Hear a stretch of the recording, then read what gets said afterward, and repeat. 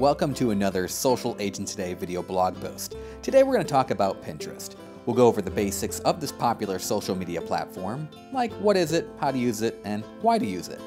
So this is your Pinterest home feed. When you log into Pinterest, this is the first thing you see. Your feed has all the recent pins from the boards you're following. All these little boxes with photos in them, they're called pins.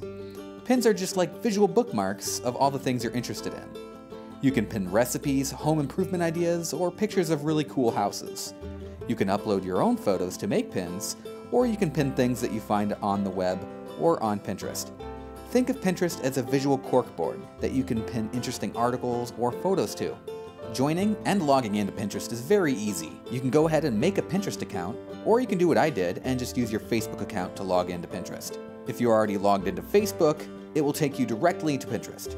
If you're not logged into Facebook, you'll be prompted to enter your Facebook login information. Welcome to Pinterest. Let's explore. Next to the search bar, you can browse topics. Click a topic and see the recent relevant pins. Or you can type a topic into the search bar. I typed kitchen. You can see all the kitchen theme pins.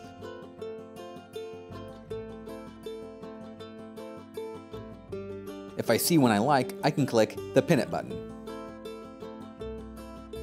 Be organized and make board topics. I made one called Fantastic Kitchens. So any kitchen photos that I like, I'm going to pin to that specific board. I can go back anytime and look at my pins, or other people can browse my pins. Alright, now let's say I'm not on Pinterest right now, but I see something on some random website that I want to pin to my Pinterest board. It's easy. Lots of websites have incorporated the Pin It button, just look for the Pinterest logo, or look for a button that says Pin It. See the letter P on this photo? Click it. It's that easy to pin a photo. An even easier way to pin objects is to get the Pinterest browser button. A browser is the program that you use to surf the internet. The browser I use is Google Chrome. You just download the button or extension, and the Pinterest logo will appear at the top of your browser.